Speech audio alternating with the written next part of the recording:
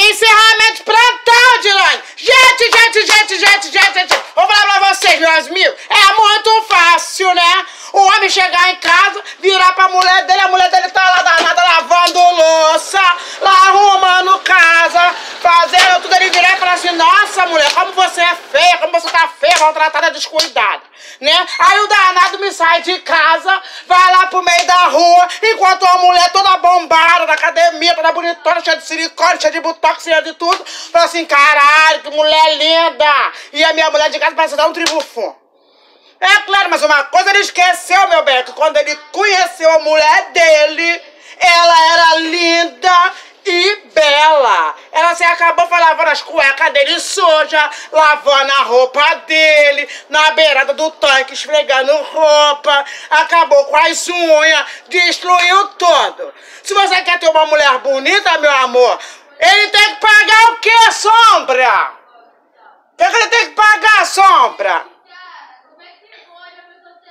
Ele tem que pagar, meu amor.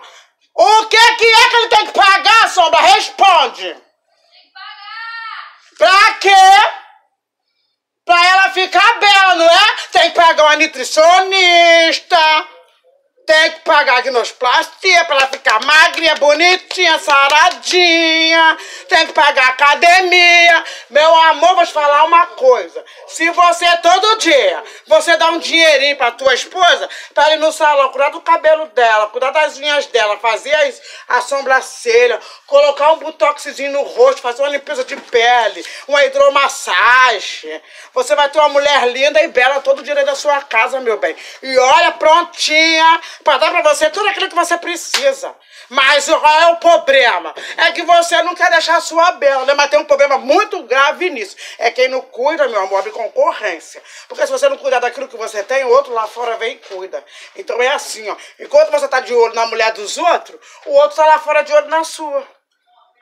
Pô, quando aquela mulher casou com aquele cara, pô, ela era tão bonita, tão formosa, toda tchutchuquinha, toda lindinha. Agora, você acabou, cara. Se eu tivesse aquela mulher perto de mim, eu cuidaria dela, daria para ela tudo que ela precisa.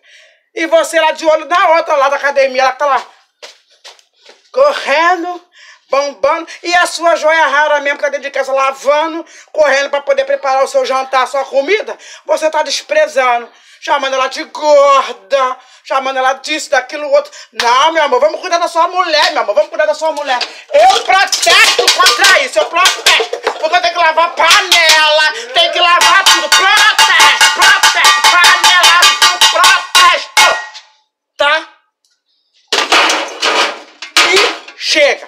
Vai cuidar da sua mulher, em vez de você estar tá olhando para a mulher dos outros no meio da rua.